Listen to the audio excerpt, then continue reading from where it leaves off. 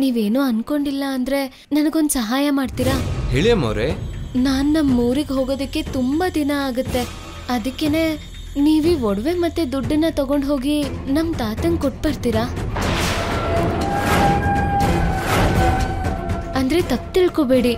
ದುಡ್ಡನ್ನ ಕಳಿಸ್ಕೊಟ್ರೆ ನಮ್ ತಾತ ಅವರು ಮೆಕ್ಕಿದ ಏರ್ಪಾಡ್ಗಳನ್ನ ಮಾಡ್ಕೋತಾರೆ. ಅದಕ್ಕೇನೆ. ಬೇಕು ಅಂದ್ರೆ ನಿಮ್ ಸೇಟು ಅವ್ರಿಗೆ ನಾನೇ ಹೇಳ್ತೀನಿ. ಸರಿನಾ? ಹಾಗೆ ಆಗ್ಲಿ ಅಮ್ಮ. ಅಡ್ರೆಸ್ಸು ಹೇಳಿ.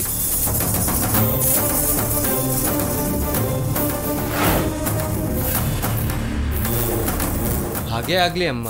ಇದನ್ನ ತಗೊಂಡೋಗಿ ನಿಮ್ ತಾತ ಅವ್ರಿಗೆ ಕೊಟ್ಬರ್ತೀನಿ. ತುಂಬಾ ಥ್ಯಾಂಕ್ಸ್ ಸರ್. ತಗೊಳ್ಳಿ. ಹ್ಮ್ ಬರ್ತೀನಿ ಅಮ್ಮ.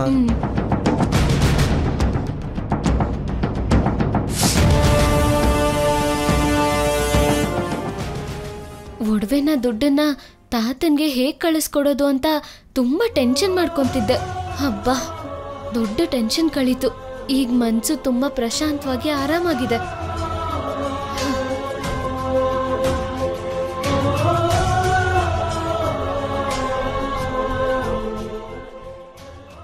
ಹ್ಮ್, ಒಂದ್ ಐಡಿಯಾ ಬಂತು. ರಾಜ ಮತ್ತೆ ಇವಳ ಮಧ್ಯೆ ಜಗಳ ತಂದಿಡೋಕೆ, ಇವ್ರ ಸಂಸಾರಕ್ಕೆ ಪೆಟ್ರೋಲ್ ಹಾಕಿ ಬೆಂಕಿ ಹಚ್ಚೋದಕ್ಕೆ ನಿಜವಾಗ್ಲೂ ಹೇಳ್ತೀನಿ. ನನಗಂತೂ ಅದ್ಭುತವಾದ ಅವಕಾಶ ಸಿಕ್ಕಿದೆ. ಅಬ್ಬಬ್ಬಬ್ಬಬ್ಬಬ್ಬಾ. ಇಂಥ ಅವಕಾಶಗಳು ಲೈಫಲ್ಲಿ ಒಂದೇ ಸಲ ಬರೋದು.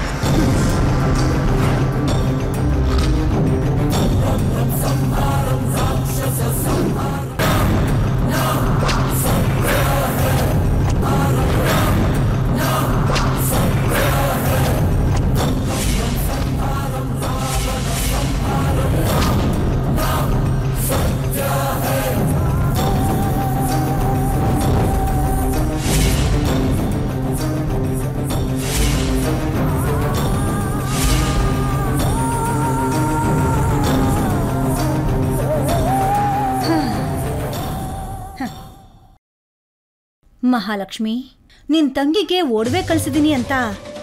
ತುಂಬಾ ಸಂತೋಷ ಪಡ್ತಿದ್ಯಾ ಅಲ್ವಾ? ಆದ್ರೆ ಈ ಒಡವೆಗಳೇ ನಿನ್ ಕಾಲಿಗೆ ಹಾವಿನ ತರ ಸುತ್ತಕೊಳ್ಳುತ್ತೆ ಈ ಏಟಿಗೆ ನೀನು ನಿನ್ ಗಂಡ ದೂರ ಆದ ಹಾಗೇನೆ. ಇದು ಜಲಂಧರ ಶಪಥ. ಡಿಸೈಡ್ ಆಗು. ಬೇರೆ ಆಗೋದಿಕ್ಕೆ.